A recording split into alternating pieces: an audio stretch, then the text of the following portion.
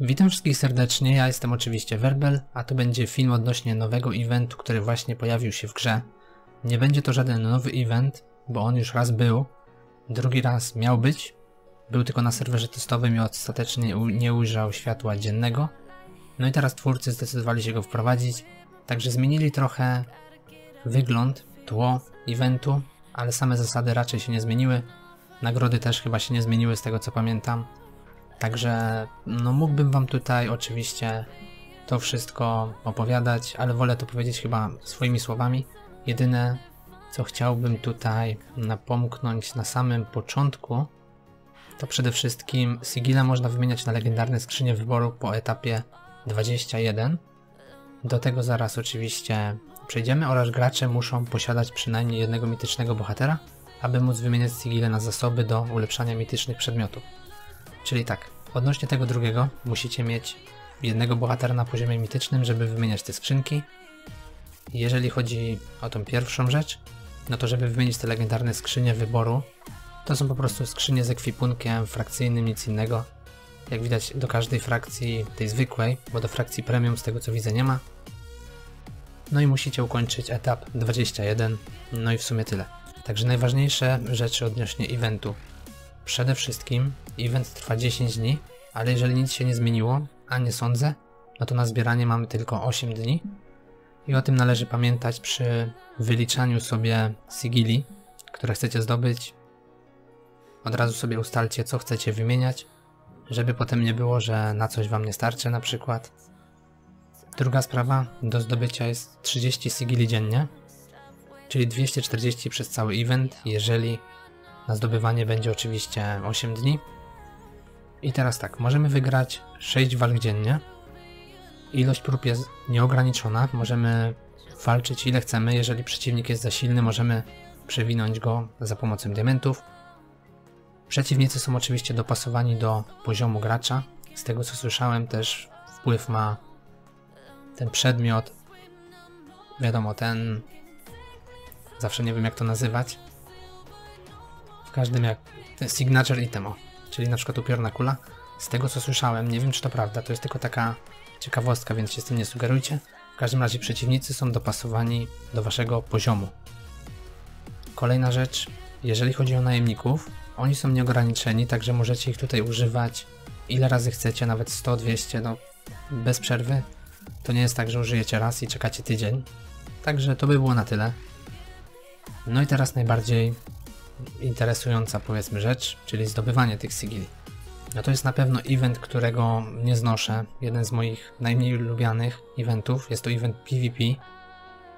No i tak naprawdę, żeby zdobywać sigile, czyli na przykład ja prawdopodobnie wymienię wszystko na zwoje zwykłe. 60 zwojów można zgarnąć, czyli potrzebuję 20 sigili natury oraz 20 sigili światła. Co to oznacza? Po prostu chcę tylko i wyłącznie te sigile, czyli muszę walczyć postaciami albo leśnych istot, albo świetlistych. Tak naprawdę i tym, i tym, prawda? Także tak, trzech z tyłu już mam. Mogę wrzucić Tasi. No i potrzebuję jeszcze świetlistego. Także w tej bitwie zdobyłeś, jak pod spodem widać, dwa sigile świetlistych, dlatego że w drużynie jest Lucius oraz Fox, no i trzy leśnych istot, dlatego że jest Tassi, Lyka oraz Nemora. Oznacza to, że dostajemy sigile tego typu, jakich używamy bohaterów. No ja potrzebuję tych dwóch, więc po prostu spróbuję wygrać taką drużyną.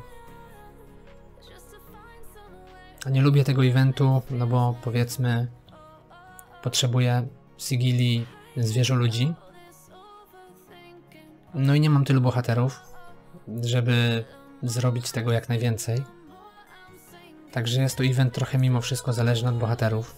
Skoro przeciwnik jest dopasowany do waszego poziomu, to musicie to mieć jakąś drużynę, żeby z nim wygrać, a jeżeli jesteście ograniczani na przykład dwóch, frakcji, tak jak ja tutaj, no bo pozostałe sigile kompletnie mnie nie interesują, więc na przykład Szemiry nie użyję.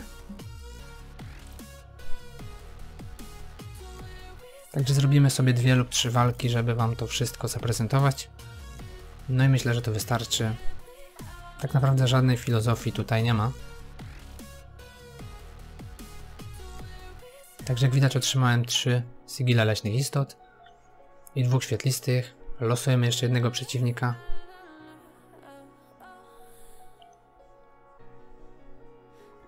Od razu jedziemy, no nie ma tutaj nas co czekać tak naprawdę. Myślę, że powinienem to bez większych problemów wygrać. Te walki trochę trwają, no bo nie ma Szemiry.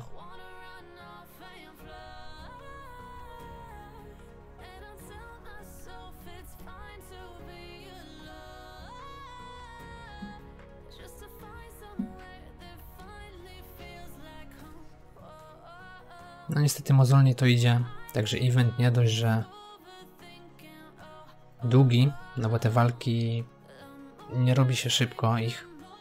No i przede wszystkim, tak jak mówię, musicie dobierać bohaterów. Nie możecie walczyć swoimi najlepszymi drużynami tak naprawdę.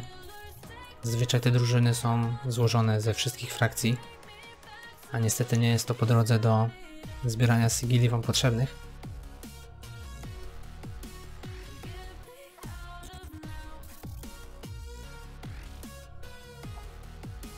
No 9 sekund. Ale na szczęście zdążyłem, dobra. Dobra, no i myślę, że to wystarczy. No, nie ma tutaj żadnej filozofii, już zresztą to robiłem raz. Także tak, podsumowując, event trwa 10 dni. Na zdobywanie sigili będzie prawdopodobnie 8. 30 sigili dziennie do zdobycia, czyli 240 przez cały event. No i w sumie tyle. Tak naprawdę, no mówię, żadnej tutaj filozofii nie ma. Najemnicy są nieograniczeni, przeciwnicy dopasowani do Was. No i tyle. Jeżeli mimo wszystko macie jeszcze jakieś pytania odnośnie tego eventu, nie będę Wam mówił na co wymieniać, bo to zależy od tego, czy potrzebujecie któregoś z bohaterów. Ja na pewno pójdę w 60 zwojów zwykłych, bo to myślę, że najbardziej się opłaca tak naprawdę. Największa szansa na większą ilość elit. Także ja Wam oczywiście dziękuję za oglądanie, no i do zobaczenia w kolejnych moich filmach.